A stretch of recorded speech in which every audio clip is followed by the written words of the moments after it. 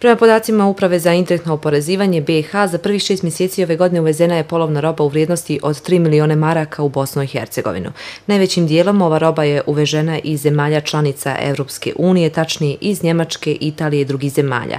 Mada na našem tržištu možemo naći i polovnu robu iz Sjedinih američkih država. U cijeloj prošloj 2015. godini uvezli smo 3167 tona i to u vrijednosti od 6,4 miliona konvertibilnih maraka i mogu reći da kroz prethodne godine ovaj iznos je e, na vrlo sličnom nivou, dakle u pitanju je uvijek na godišnjem nivou uvoz između 3 i 4 hiljade tona u vrijednosti od oko 6 do 7 miliona konvertibilnih maraka. Da polovna roba sve više interesuje domaće kupce, potvrđuju i brojnje radnje širom Republike Srpske. Ista slika je i u Bijeljini. U jednoj ulici možete da vidite par radnji polovne robe u kojoj možete naći sve što vas interesuje. Odeću, obuću, torbe, modne detalje. Ali što je najvažnije, trgovci se hvale povoljnim cijenama i kvalitetnom robom. Američka je roba u pitanju. Eh, jako kvalitetna. Sad ljetnja odjeća je uglavnom snižana.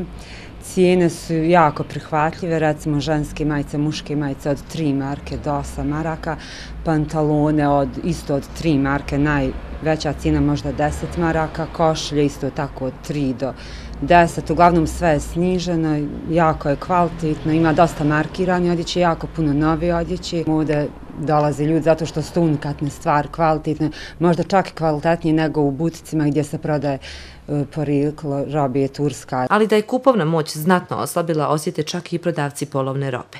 Iako je riječ o jeftinim cijenama, vlasnici second hand radnji kažu da narod ima sve manje novca, a da je konkurencija sve jača. Radim već deset godina, pa znate kako, sad je već tako vrijeme došlo da je jako velika konkurencija, jako puno ovih radnji se otvorilo, Ovaj, tako da što se tiče mene lično, e, e, dosta je lošije iz godine u godinu, ali mislim da je, ne znam, ja sam zadovoljna s malim. Vlasnici trgovina polovne robe tvrde da su njihovi kupci različitog materijalnog statusa, od studenta do doktora. Svi oni rado dolaze i pazare, tvrdi prodavac Sanja Drljača i ističe da se polako razbija predrasuda da je sramotno posjetiti second hand i nositi polovnu odjeću. Ono što je važno istaći da je svugdje u svijetu normalno i društveno prihvatljivo kupovati polovnu odjeću, samo još na Balkanu važi pravilo ako je skupo, onda je dobro.